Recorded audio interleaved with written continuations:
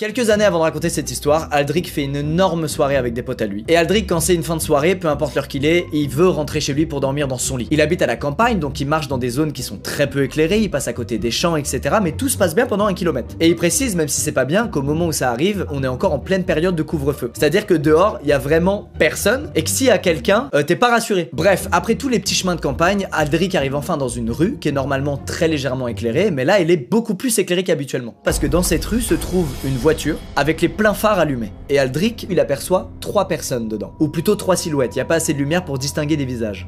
Aldric, il part en courant. Ciao. Et pendant qu'il court, il entend que la voiture maintenant ne roule plus doucement, elle accélère pleine balle. À ce moment-là, en plein sprint, Aldric il se dit Ok, je suis mort, je vais me faire dépouiller. Et puis, à un moment donné, il se retourne et il voit que sur la voiture se trouve un gyrophare.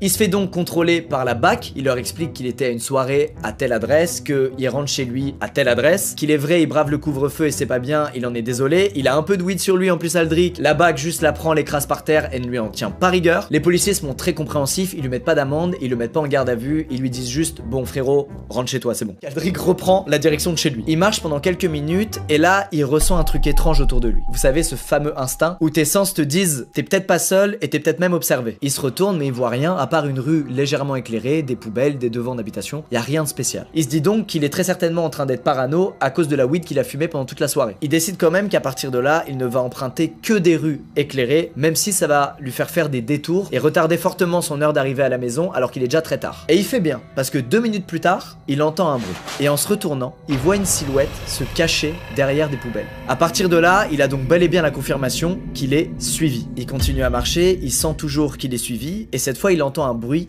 métallique. Encore une fois, il y a deux options à partir de là pour Aldric. Soit il prétend s'en foutre et il continue de marcher tranquillement en restant vigilant au bruit derrière lui, soit il prend la fuite. Sauf qu'il a déjà pris la fuite une fois ce soir, et son cardio, il est bousillé. Ce qu'il va faire à la place, c'est du génie. Il va sortir son téléphone et aller sur Discord. Et heureusement, il y a deux potes à lui qui sont en train de jouer à League of Legends. Tout en marchant, Aldric leur envoie un message et leur dit Les gars, venez visio, c'est urgent. Immédiatement, les deux amis le rejoignent, ils sont donc comme en FaceTime sur Discord. Et Aldric, à voix très basse, leur explique qu'il pense être suivi par quelqu'un et qu'il a besoin euh, de leur aide. Tout en marchant, il lève donc son téléphone en faisant le geste de quand tu cherches du réseau, de manière à ce qu'il puisse voir ce qui se trouve derrière Aldric via la caméra de l'iPhone. Et puis 6 secondes plus tard, il le rebaisse et là, le visage de ses deux amis a changé. Et l'un des deux va rompre le silence en disant On a bien vu ce qu'on a vu là?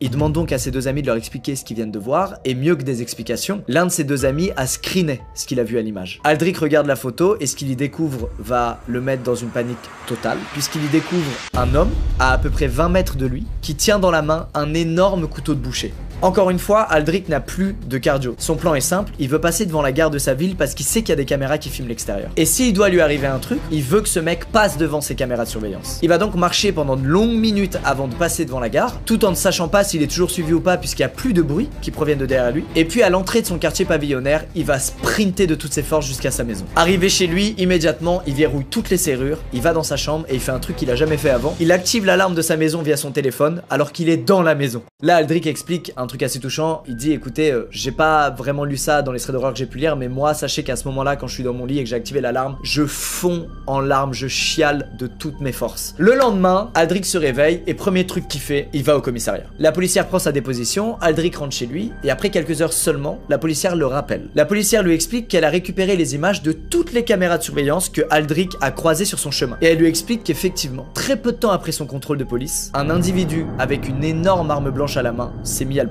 Sur les images, on le voit fréquemment se cacher quand Aldric ralentit ou s'arrête ou se retourne, et elle lui dit qu'il a arrêté de le suivre au moment où il est arrivé dans son quartier pavillonnaire et qu'il a sprinté comme un fou. Aldric, il est choqué de malade, mais d'un autre côté, il est rassuré. Il a pas fait un bad trip la veille, il était bel et bien en danger, il a bel et bien eu conscience du danger qui l'entourait, et il en tire une seule leçon, il ne rentrera plus jamais de soirée à pied, seul, en pleine nuit.